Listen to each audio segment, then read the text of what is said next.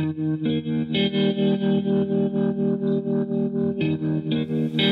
think as individuals, our greatest strength right now is getting out there and telling the stories of what's happening in our backyards. And so being a messenger for climate change and what we're seeing and observing is incredibly empowering as individuals. This is a white bark pine that has been killed by mountain pine beetles. And this is being played out across tens of millions of acres in the greater Yellowstone ecosystem.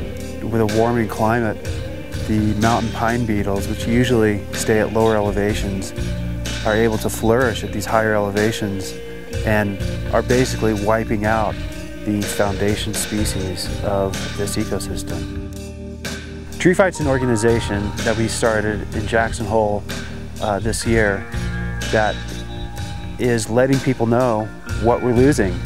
And so what we've been doing, what we've been focusing on is getting people into the forest to see for themselves, to really experience uh, these forests. Letting people know what's happening is the first step in trying to look for a solution. So this is a this is a tree that's showing some telltale signs of mountain pine beetle infestation. We see the the drying needle. So these, this is dying. Is a dying tree. We now know that 95% of this ecosystem is impacted because this has typically been too cold and too unhospitable for the beetles. But just with the warming we've experienced, it's allowed the beetles to survive and, and thrive. So it's kind of the phase now of going onto the ground like we are here today and documenting the condition right here on the ground.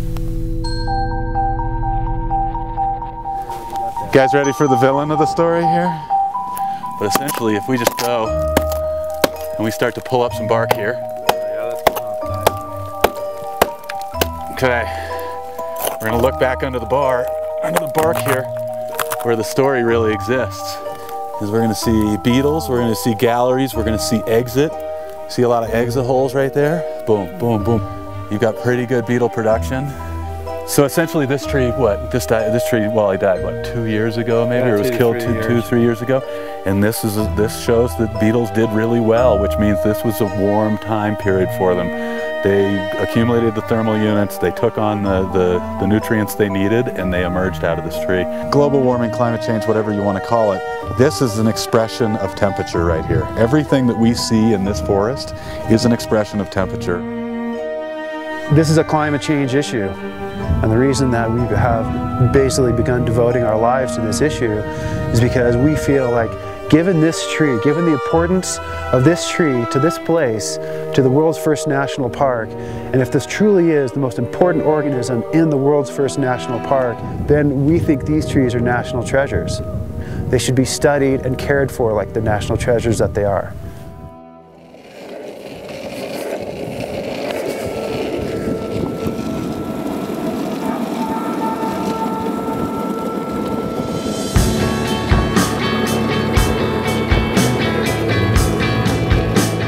The whole point of TreeFight is to raise awareness of what's happening.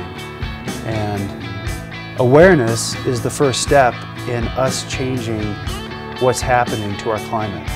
In fact, it's the most important step because people have to know what we're losing. And so we're using Facebook, we're using websites, we're using blog, we're using videos in a way to get people to pay attention to this problem, to connect people all over the world to this place and to this particular symptom of climate change because we are essentially optimistic, because we believe that if we do show these incredible places changing before our eyes, that maybe we'll get people to make changes in their own lives that will turn this whole problem around.